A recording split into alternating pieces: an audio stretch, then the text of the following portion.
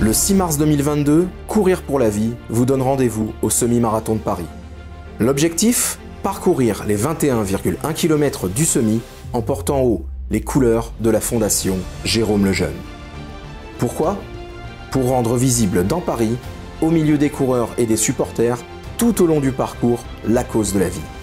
Pour donner du sens à vos 21 km. Pour donner du souffle à la recherche, aux soins et à la défense de la vie. Rejoignez-nous.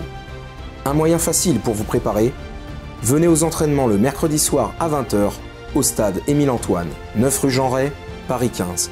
On compte sur vous. Protéger le faible, ça c'est fort.